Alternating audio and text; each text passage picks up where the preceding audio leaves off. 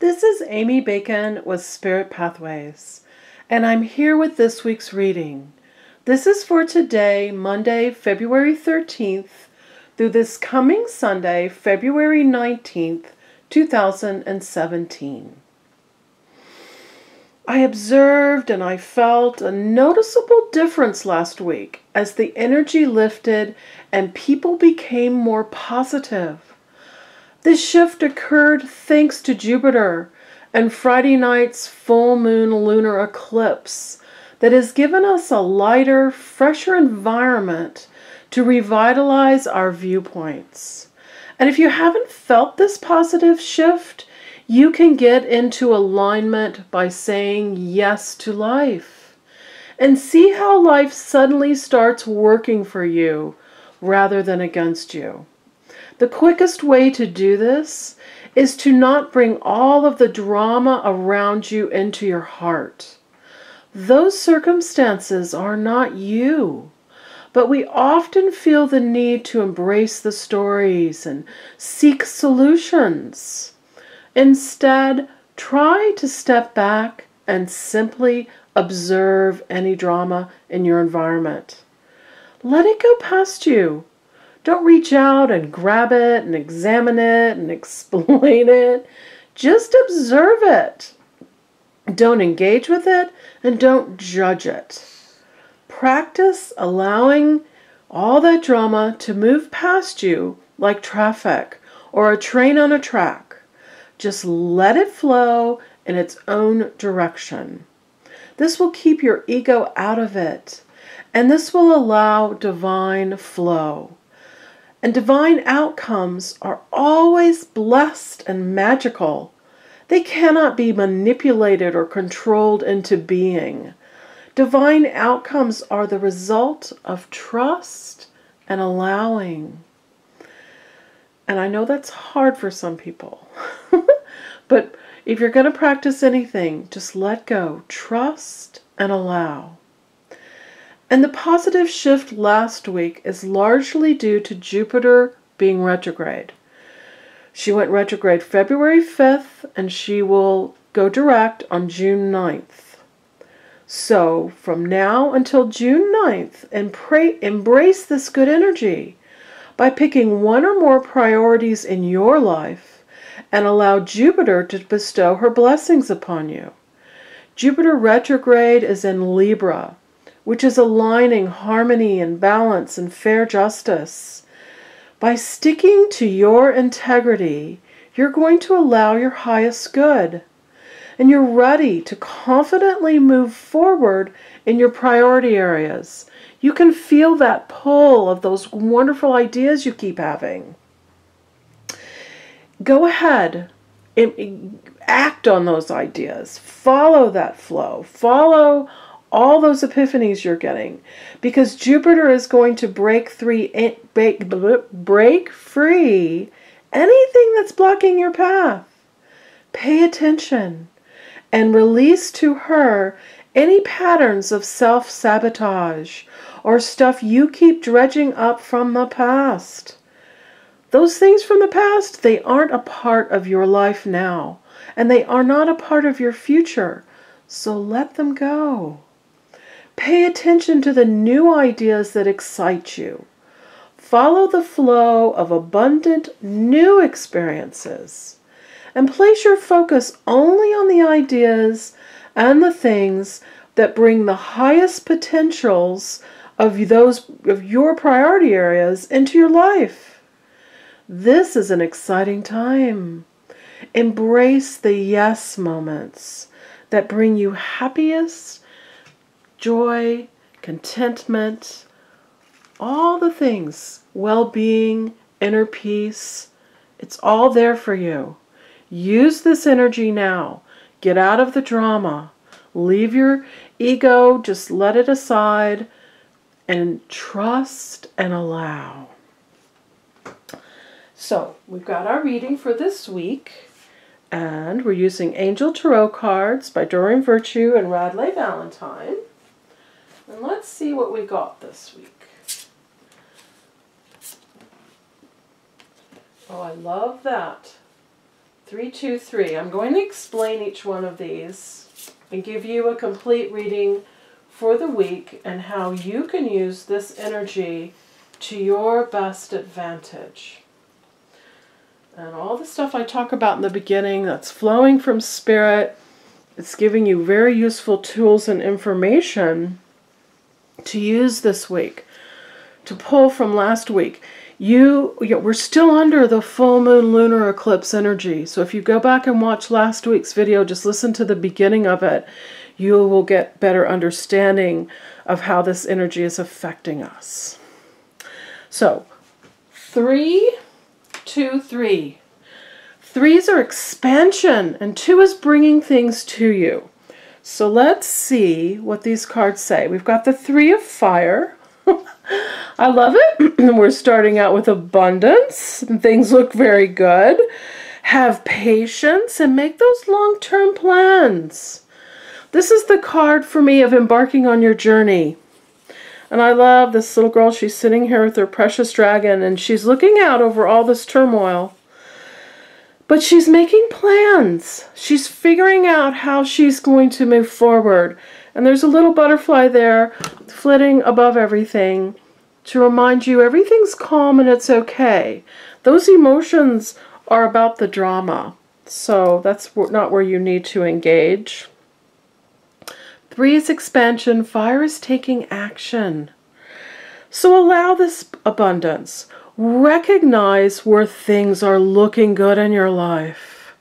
Have patience with, you know, the linear time of things that you feel are taking too long. And think about what you're creating, especially between now and June 9th. Put into place those things that you're really, really excited about.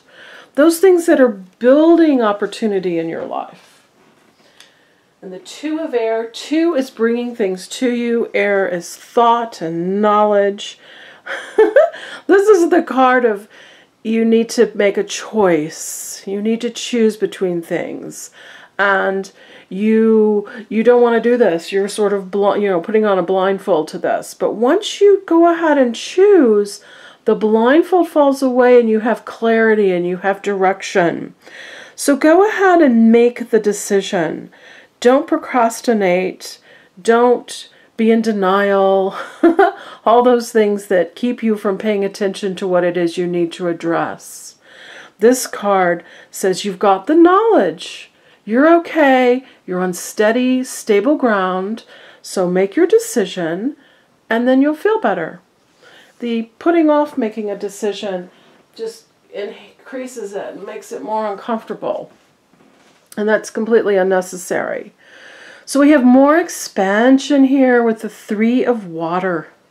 Water is emotions. This is the card of go out and have fun with your friends.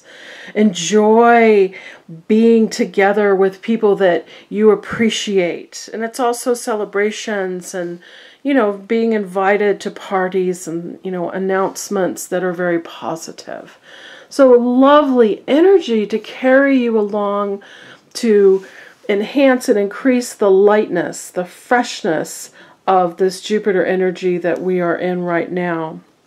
So I love that. Have fun with friends. That's another way of nurturing yourself and taking care of yourself. There's nothing better than laughter. Just laugh and relax and have fun. This Nine of Fire. So after you get back from that party, you're going to realize that you've been, you know, working at things a long time and you've been, you know, nine is culmination. It's everything that happened before led you to where you are now, but it's also um, nine is energy that you're in charge of because you've got the wisdom and the knowledge and the experience to make the decisions that are best for you. Fire says take action on this. So stand up for your beliefs Protect what you've been creating. In those priority areas that I was talking about, where, you know, pick the priority areas where and allow Jupiter to, to bestow blessings on you, those are areas you've already been working on. Those are things and ideas that you've already been developing. So this says protect it, don't give up, have courage, believe in yourself, and keep working at it. Allow this lighter energy to shift you to where those things are more effective and the outcomes that you get are more in alignment with what you want to experience. And the page of earth page is a messenger to tell you that you're going to be okay with money. Money is coming. The things that you're doing right now are setting in place money growth for you. And allow yourself to expand into things that are more interesting for you. Things that are more challenging and more satisfying. And, you know, you can't wait to get up and get going on that. And this can also be a new area of study. So take classes and read books and watch videos and expand your knowledge on all the things that are just just so interesting to you. There's a lot of great momentum in that. You're scholarly, you're smart, you're dependable, you're patient, and you're successful and allowing these attributes to help you this week, to help you create that abundance that that builds and builds, abundance that's growing for you.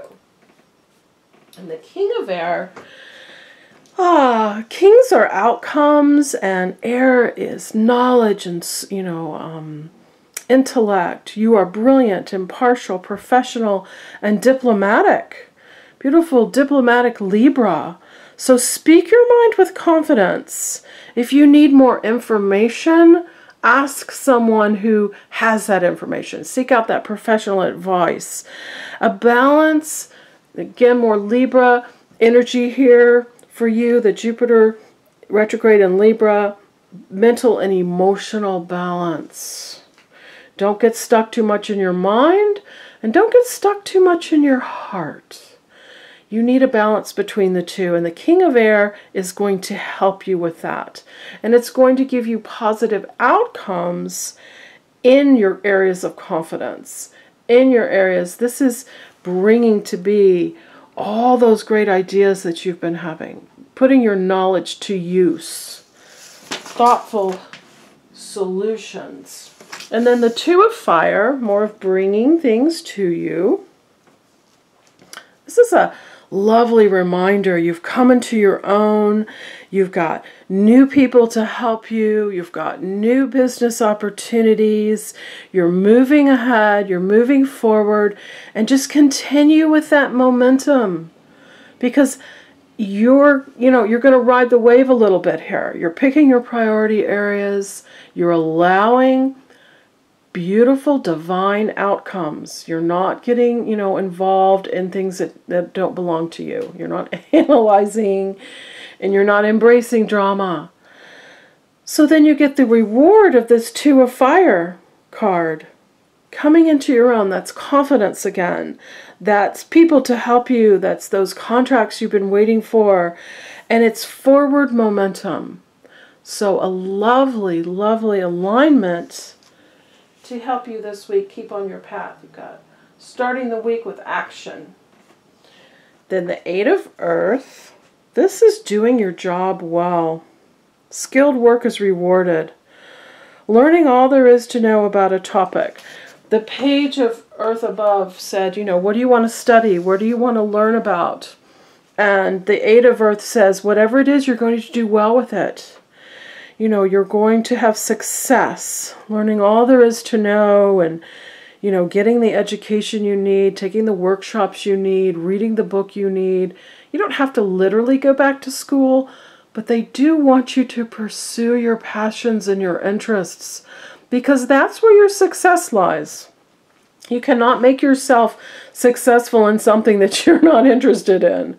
It's just not going to work. The passion is where the flow is. Those things that you are so excited about, that's where you get your success and your greatest happiness. So the Eight of Earth is reminding you that you're going to be rewarded for this. Very nice energy. And then we end the reading and we end the week with release. Release is also rebirth. So ask Archangel Azrael to help you with this. And 13 is a 4, so it's about doing the work. And it says to recognize that you are at the end of a phase. You're at the end of a situation and you are so ready for your spiritual transformation. Don't keep holding it off. Don't keep wallowing in old energy. Allow Jupiter to just bulldoze that out of your life. Let go of that baggage. Don't keep self sabotaging yourself by going back to the past, by expecting things that didn't work out before to repeat themselves because that's not the energy of what's going to happen. This is new energy. You are not the person that you were before, and the circumstances are different. So allow that to be helper for you. Allow that to assist you to move forward. You know, um, this is shedding the old skin, and that old skin shuffles off because you don't need it anymore. You've outgrown it, and you're ready for the shiny, new, healthy, abundant being that you are. This is moving forward. This is rebirth, transformation, powerful energy here. So release anything that's no longer serving you.